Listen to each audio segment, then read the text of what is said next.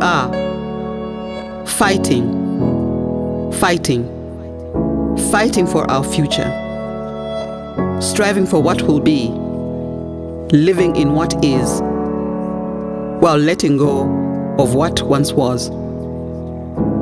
Fighting for possibilities that have been collecting dust for far, far too long. Fighting for unborn children that are yet to believe in us.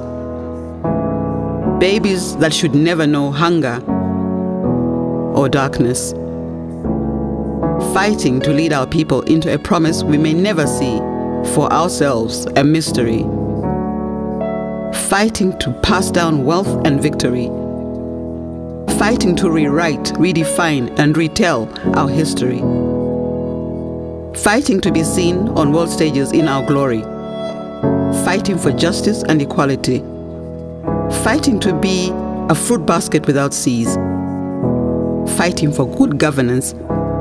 We do not use pangas or AK 47s. Our voices are our weapons.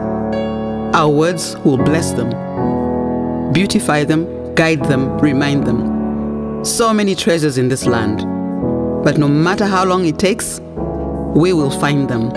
Our children will pump their fists and say our names, knowing the worst is behind them. But until then, we keep fighting, fighting for Zambia.